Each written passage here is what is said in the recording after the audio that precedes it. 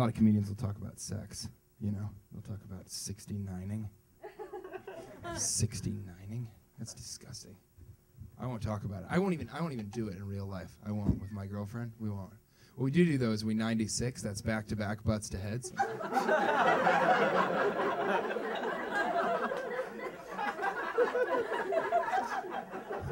so now it's more intimate than sex. I think, in some ways.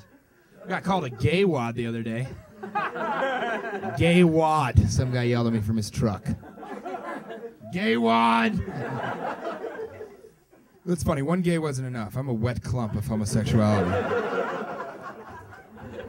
I made a face at a baby. I make. I always make faces at babies. Do you guys see that? Because I feel like when I was a baby, I would have wanted people to make faces at me. You know, not necessarily like, "Ah," but like some sort of face, just to engage me. I made a face at this baby. I swear to God, he shot me back a look of disappointment.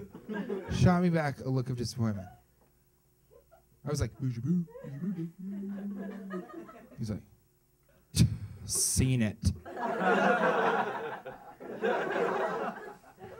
don't know if it was a baby. Hey, you just watched me destroy human minds, including yours.